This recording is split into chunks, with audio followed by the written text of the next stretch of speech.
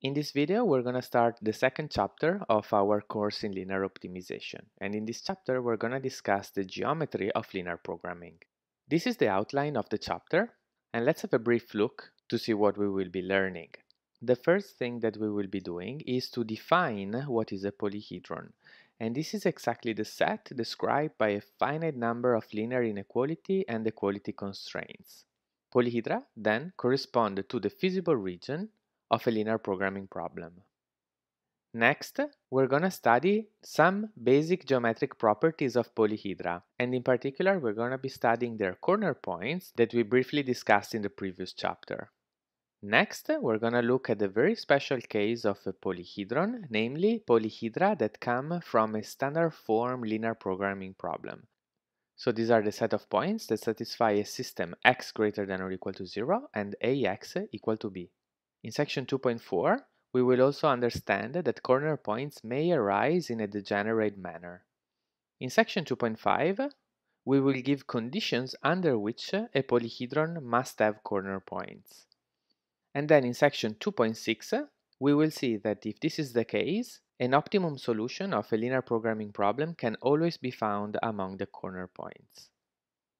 In section 2.7, we will see that corner points can also be used to give an alternative representation of polyhedra. And finally, in section 2.8, uh, we will see the oldest method for solving linear programming problems. This is an algorithm that is geometrically very interesting, but unfortunately it's not very effective from a practical perspective. I want to start this chapter by explaining to you why linear programming is such a special optimization problem. This is because throughout this course, we will see several fundamental properties of linear programming problem, and I already want you to know that general optimization problems don't always have these properties. In order to see this, let's start by looking at a general optimization problem, which is a problem where we minimize a function f of x where x is constrained to be in a set capital S. Here S is a subset of Rn and therefore f is a function from Rn to R. Now I'm going to give you three definitions which we have already seen in the previous chapter for linear programming problem, but here I want to give you a more general definition that holds for any optimization problem. The first definition is that of infeasibility. So we say that the problem is infeasible if the feasible region is the empty set. This is definitely a possible outcome of an optimization problem. Another outcome of an optimization problem is that the problem is unbounded. And this means that for every real number k, there exists a feasible point such that f of x is strictly smaller than k. One more possible outcome is that the problem has an optimal solution, and this happens whenever there exists a feasible x star such that f of x star is less than or equal to f of x for all x in S. Note that in chapter 1 we have seen linear programming problems of all these three types. Now a natural question is whether there exist other possible outcome of an optimization problem. And this is indeed the case in fact, a general optimization problem might not have any of those three outcomes. So it can be neither infeasible, nor unbounded, nor have an optimal solution. And I can give you a very simple example. So this is an optimization problem where we minimize 1 over x subject to x greater than or equal to 1. So we can visualize the feasible region on the horizontal axis. Therefore, the feasible region starts at 1 and goes to infinity on the right. And the value of f of x can be seen on the y-axis. Therefore, the objective value at 1 is exactly 1 and it decreases while x increases. Now the catch is that this value keeps decreasing forever and it gets as close as you want to zero, but it actually never reaches zero. So let's check that this optimization problem doesn't have any of those three outcomes. Of course it's feasible, because the feasible region is x greater than or equal to 1. It is not unbounded, because the objective function cannot become arbitrarily small. In fact, there's no feasible point with objective value smaller than 0. Finally, the problem doesn't have an optimal solution because for any point that you pick greater than or equal to 1, there's always a better one obtained by just adding to this factor any positive amount. However, note that this optimization problem is not a linear programming problem. And this is just because of the objective function, which is nonlinear. In this course, we will see that the linear programming problem indeed can only have those three specific outcomes. So we will prove that any linear programming problem is either infeasible or unbounded or it has an optimal solution. Nothing else can happen. The second property regards the difference between uh, global optimal solutions and local optimal solutions. So let's see the definitions for these two types of optimal solutions. We say we say that a vector x star is a global optimal solution for our general optimization problem if the cost of x star is less than or equal to the cost of x for any other feasible x. On the other hand, a feasible vector x star is called a local optimal solution if it is the best feasible vector in a small enough neighborhood of x star. How do we say that in math?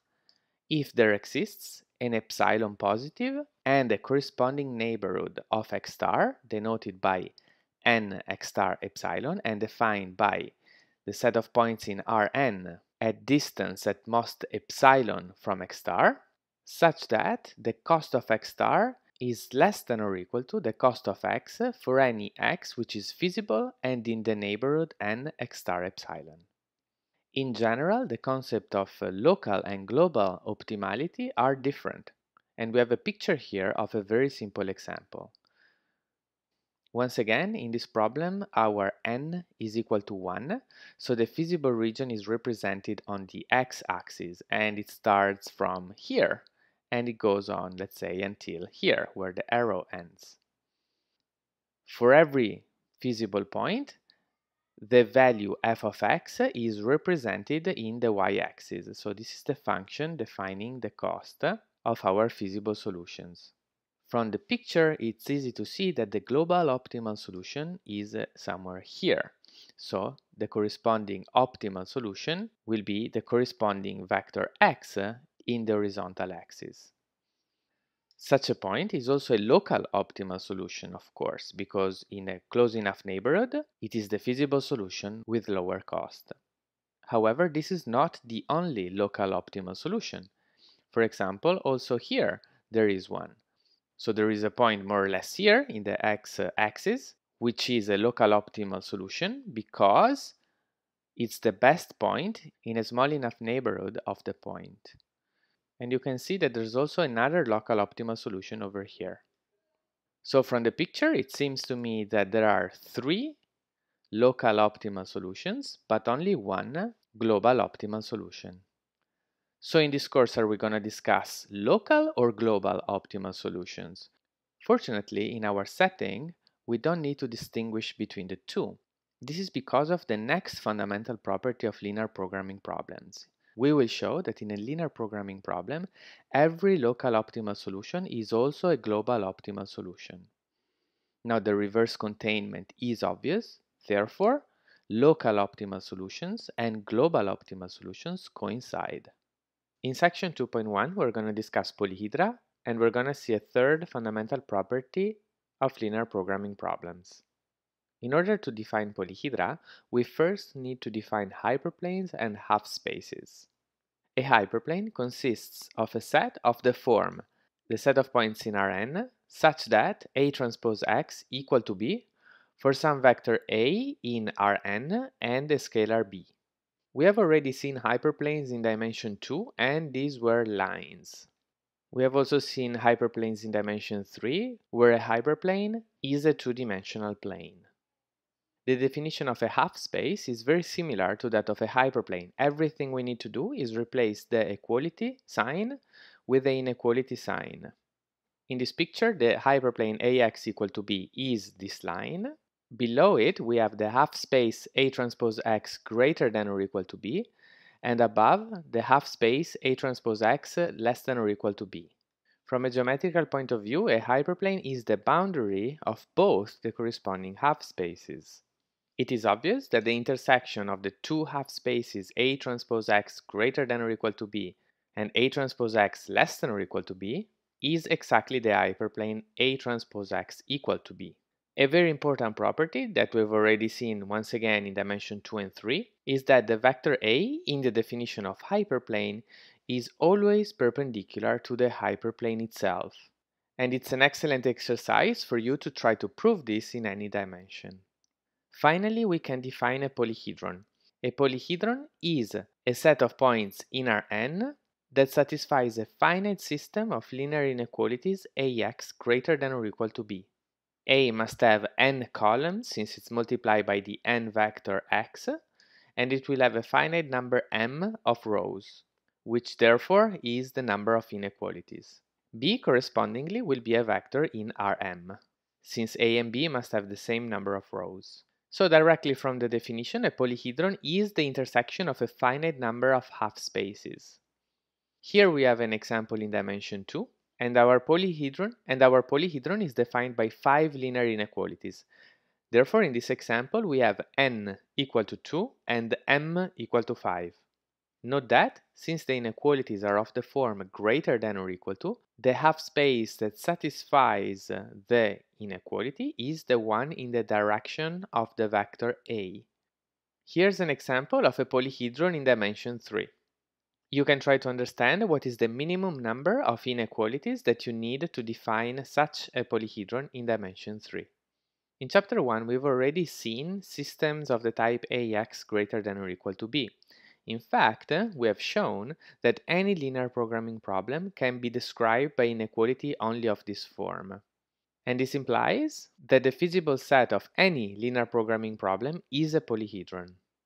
Then, in chapter 1, we have also seen linear programming problems whose feasible region has a different form, namely ax equal to b, x greater than or equal to 0. These were standard form linear programming problems. Correspondingly, a polyhedron defined by a system Ax equal to b, x greater than or equal to 0, is called a polyhedron in a standard form representation. To introduce the third fundamental property of linear programming problems, I only need a couple more definitions.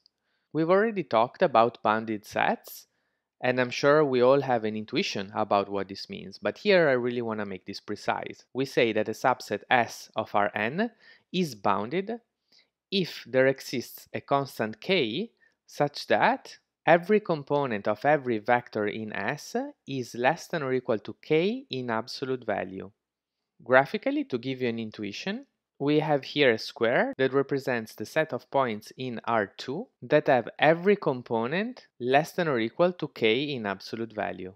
So intuitively, being bounded means that the set can be contained in a large enough but finite box. A polyhedron that is also bounded is called a polytope. We're finally ready to state the third fundamental property of linear programming problems. Here's a brief recap of the first two fundamental properties. In the first one, we saw that any linear programming problem is either infeasible or unbounded, or it has an optimal solution. In the second property, we have seen that in a linear programming problem, local optimal solutions and global optimal solutions coincide. Finally, the third property says that if the feasible region of a linear programming problem is a non-empty polytope, then there exists an optimal solution that is a corner point. We've seen already that the feasible region of any linear programming problem is a polyhedron, so here, on top of that, we're enforcing that it's non-empty, obviously, and bounded. This third property, though, is not entirely satisfying. The reason is that we have never defined formally what a corner point is. So even though we have an idea based on the examples that we've seen, we haven't defined corner point with a formal mathematical definition. And this will be the topic of the next section.